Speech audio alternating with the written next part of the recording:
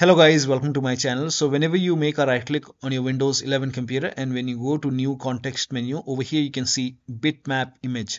Now if you want to get rid of bitmap image from the right click then please follow the steps shown in this video. Now for this type in registry editor in Windows search box and then click on registry editor. Click on yes to allow and when registry editor is open now before you make any changes over here create a backup so go to file and then click on export. You can set the location as desktop. You can name the file as backup. And for save as type now for export range select all over here and then click on save.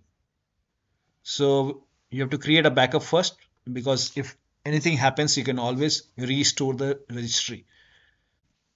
Now the backup is created in my case now once the backup is created now before I make any changes in the registry um, now in case in future if you want to restore the registry you can go to file and then click on import. You can select the registry file and then click on open. This will restore the registry. Now to get rid of bitmap image from the right menu now right click menu you have to make changes in the registry. Now once registry editor is open now you can search for this entry.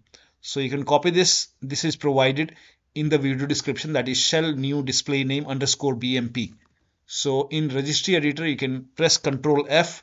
Now once you have the search window over here type in shell new display name underscore bmp and then click on find next. Now this will take couple of seconds to find the entry. Now once the entry is found over here you can see. Uh, it is under this Microsoft Paint. Now here you can see bitmap image. Now make a double click over here which says bitmap image. Make a double click over here.